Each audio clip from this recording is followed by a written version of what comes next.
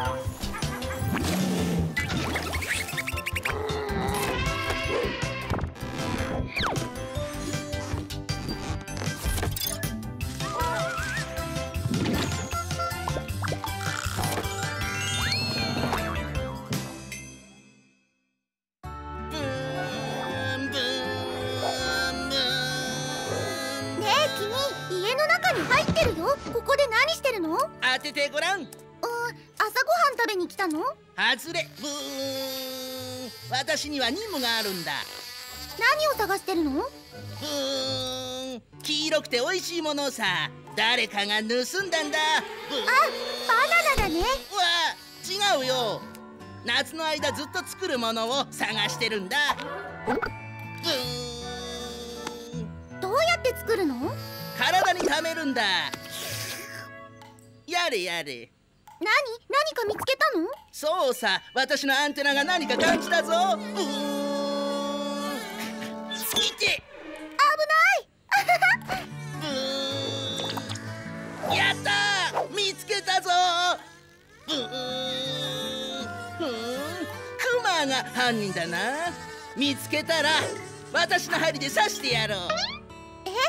ついでに少しでいいから蜂蜜を分けてああ分けてあげるよ。